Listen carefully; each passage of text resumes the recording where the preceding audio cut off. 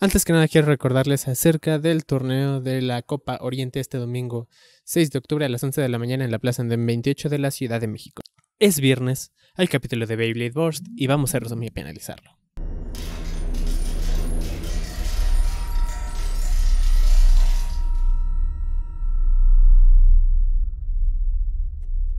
Comenzamos en la arena central de la Isla Batalla. Drom acaba de perder por final explosivo contra Aiga y está dos puntos por debajo en el marcador. Nuestro querido ser ahora lo sabe y se encuentra aún muy impactado por el poder del flujo abundante del joven mono. Los victorianos lo notan y están muy consternados por la situación. Pero si hay algo bueno de tener 2 de IQ es que puede salir de todas esas situaciones mentales fácilmente. Así que un ligero grito, un sangrado cerebral y estamos listos para continuar. Viajamos a la dimensión introspectiva y Dragon le dice que aún pueden hacerlo.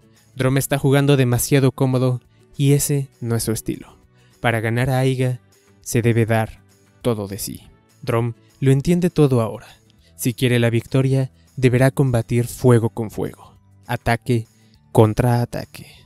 Aiga también viaja a su dimensión introspectiva y Aquiles le dice que no deben confiarse y necesitan finiquitar el asunto lo antes posible. Así que cambia de modo su disco y su driver.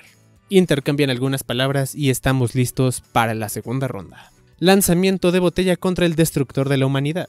Dragon intercepta la trayectoria de Aquiles y lo golpea fuertemente. Dragon Shoot. Y ahora el rojito está siendo amartillado en el centro del estadio. Aquiles contraataca con Union Shield y Dragon sale por los aires.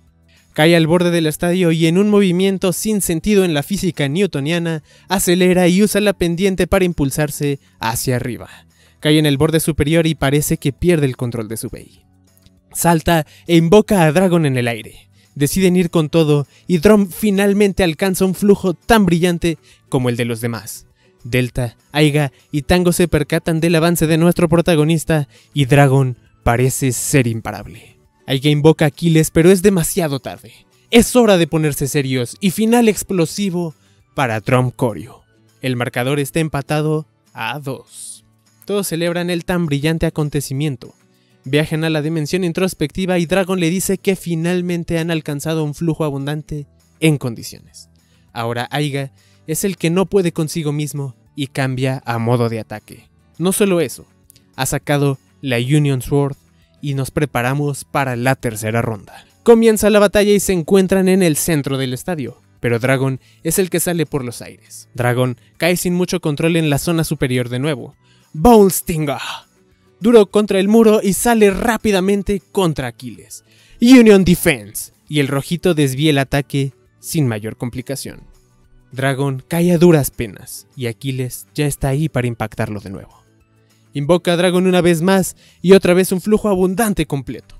Aiga invoca a Aquiles, que porta también el nuevo poder de su espada y flujo abundante. Ambos veis recorren ferozmente el estadio mientras lo llenan de su polvo de hadas. Usan la pendiente para impulsarse. Es hora de ponerse serios. Ve, mi Chousi invencible. Impactan fuertemente y la arena se llena de ondas de choque. Los veis se repelen y salen del estadio. Final por salida, el marcador es 3 a 2. Drum tiene un nuevo sangrado cerebral y cae rendido.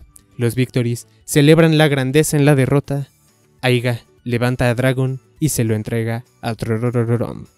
Le agradece por la batalla y otro sangrado cerebral. Si este sigue así, no llega a marzo.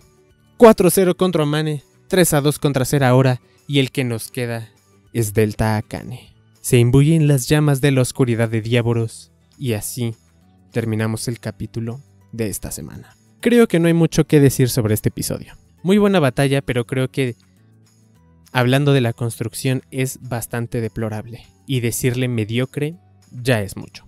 No tiene mucho sentido que Drom logre despertar su Gold Turbo perfecto entre comillas justamente en la batalla siguiente de que despertó el nivel 2. O sea, la verdad no hay mucha lógica ahí. No hay construcción aquí. Realmente son simplemente power-ups que se sacan del tubo rectal. Pero bueno, lo más interesante de todo este viaje de batalla está a punto de comenzar. Delta es la clave para sacar a esta serie del depósito fecal en el que se encuentra. Y, dependiendo de cómo lo desarrollen, veremos si logra superar a Turbo o simplemente será otra temporada para la basura. De momento ya veremos a uno de los portadores de los Bays con Mugenlock. Curiosamente su cara tiene la misma forma de su Bay y eso me parece bastante extraño. Y bueno, mientras tanto podemos esperar que al menos interesante sí será el próximo capítulo. Y hasta aquí mi resumen, opinión y análisis del capítulo número 27 de Beyblade Burst GT como sea que le quieran decir. Si no han visto los episodios anteriores, están allí arriba en la i para que vayan y los chequen en nuestra bonita y super sexy lista de reproducción. Y si quieres ver este capítulo subtitulado al español, te invito a que también en la i vayas y busques el canal de Muex777, que él te dirá cómo, cuándo y dónde podrás acceder a este contenido. Yo soy Alex Castillo y les recuerdo que siempre, siempre sean luz, sean muy felices, coman frutas y verduras y nos vemos hasta el siguiente video directo, lo que sea que nos traiga el destino. Y Larry Trip con LBL.